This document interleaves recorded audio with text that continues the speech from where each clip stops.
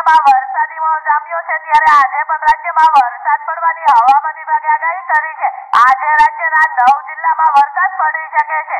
જેમાં ઉત્તર ગુજરાતના ચાર અને દક્ષિણ ગુજરાતના પાંચ જિલ્લામાં ભારે વરસાદનું હવામાન વિભાગનું અનુમાન છે. હવામાન વિભાગની આગાહી પ્રમાણે આજે બપોરના અગિયાર વાગ્યા આસપાસ સૌરાષ્ટ્ર, મધ્ય ગુજરાત અને દક્ષિણ ગુજરાતની અંદર હવામાન વિભાગ દ્વારા હળવાથી મધ્યમ વરસાદની આગાહી કરવામાં આવી છે. સૌરાષ્ટ્રની વાત કરીએ તો આજે ઉના જુનાગઢ વેરાવળ અમરેલી, પોરબંદર આ સમગ્ર વિસ્તારની અંદર આજે હળવાથી મધ્યમ વરસાદની આગાહી કરવામાં આવી છે.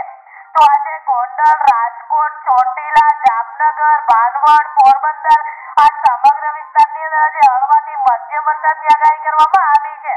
તો આજે કચ્છની અંદર ગાંધીધામ, રાપર, ભુજ, માંડવી, નલિયા આ સમગ્ર વિસ્તારની અંદર આજે હળવાથી મધ્યમ વરસાદની આગાહી કરવામાં આવી છે.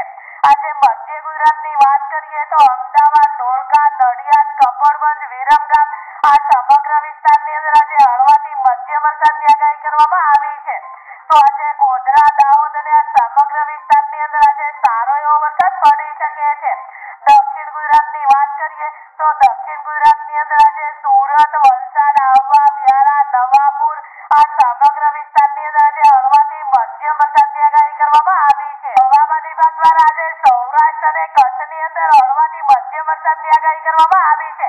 સૌરાષ્ટ્રની વાત કરીએ તો આજે રાજકોટ, ચોટીલા, જસદણ, ગોંડલ, જુનાગઢ આ સમગ્ર વિસ્તારની અંદર આજે હળવાથી મધ્યમ વરસાદની આગાહી કરવામાં આવી છે. તો આજે માંડવી, નલિયા, ભુજ, ગાંધીધામ, રાપર આ સમગ્ર વિસ્તારની અંદર આજે હળવાથી મધ્યમ વરસાદની આગાહી કરવામાં છે. તો આજે દક્ષિણ ગુજરાતની અંદર સુરત, વલસાડ, નવસારી, આહવા, વાંસદા સમગ્ર વિસ્તારની અંદર આજે હળવાથી મધ્યમ તો અમુક અમુક વિસ્તારમાં સારા એવા વરસાદની આગાહી કરવામાં આવી છે. હવામાન વિભાગ દ્વારા ઉત્તર ગુજરાતના બનાસકાંઠા, પાટણ, મહેસાણા અને સાબરકાંઠા જિલ્લામાં વરસાદની આગાહી કરવામાં આવી છે.